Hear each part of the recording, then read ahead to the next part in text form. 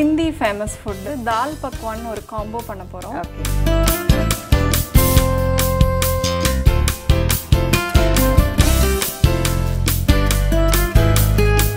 ஆப்டான combo இது. ரொம்ப பிரமாதமா.